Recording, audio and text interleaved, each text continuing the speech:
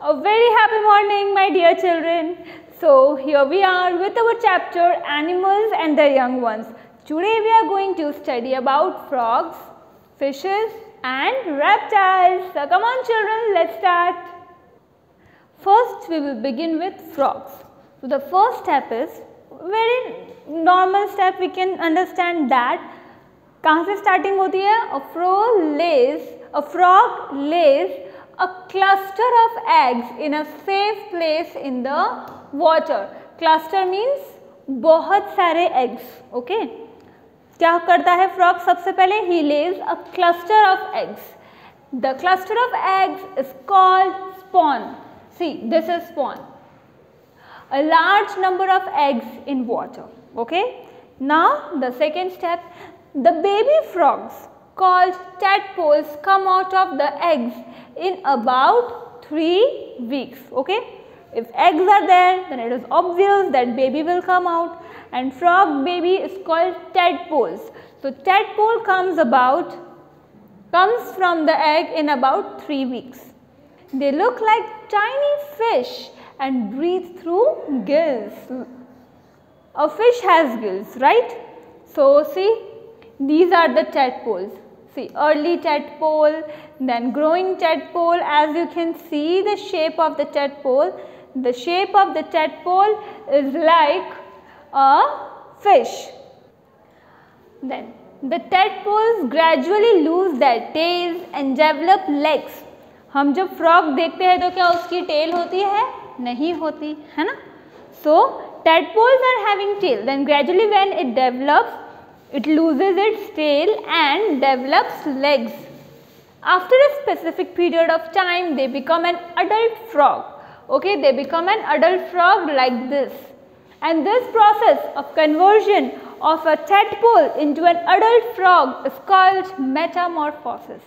See, this is the life cycle of frog and see this is the land region as you can see here. This is the land region. Adult frog is on the land.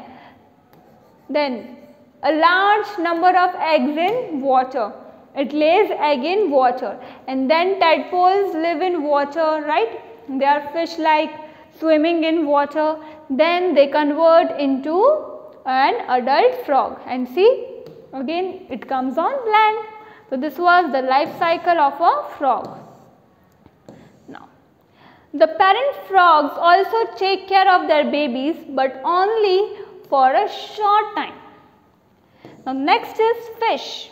Again the very first step what the fish will do? It will lay eggs okay. See here are the eggs. A fish lay thousands of eggs at one time.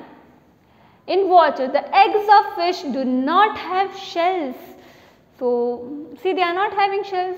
Only a few of them develop into baby fish and only few of the baby fish survive because many other fishes eat those eggs that is why. Most of the eggs and baby fishes are eaten up by other big fishes. Yes, the eggs are not having the protective covering, they are not having the action, right? So, क्या हो जाता है दूसरे fish भी उनको खा जाते हैं and that is why only few eggs convert into a fish. Now this process we know egg baby fish then baby fish grows and becomes an adult fish.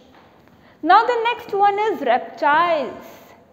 Reptiles like lizards, turtles and snakes lay their eggs on the ground or holes in the ground because they live in grounds. They do not sit on the eggs to keep them warm like birds used to do and that process is known as incubation when a bird sit on egg to provide warmth to the eggs, this process is called incubation. But snakes, lizards, reptiles ऐसा नहीं करते. The eggs are warmed by the heat of the sun. They are warmed by the heat of the sun, not by the mother. They are not protected by their parents. Yes, they are not protected. Many of the eggs are eaten by other animals because there is no one to protect them. So, they are eaten by other animals. Now see children, now what is your homework for today? Your homework for today is to solve these MCQ. Okay. See, the yellow substance present inside the bird's egg is called dash. The eggs of the reptiles are warmed by the heat of the dash and I have underlined it here. Okay. You will be able to solve it. Okay children, bye bye, take care. May God bless you.